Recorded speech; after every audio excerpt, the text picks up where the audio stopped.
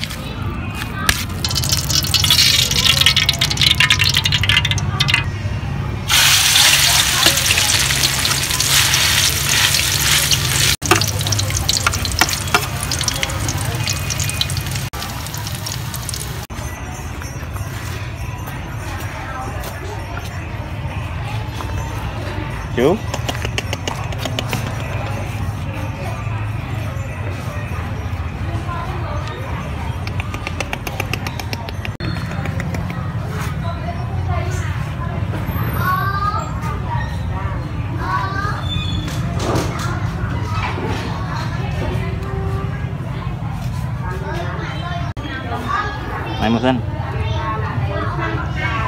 này môi. Hai khăn nào một tiết. Ang net. Ano một tiết. Ok. See you.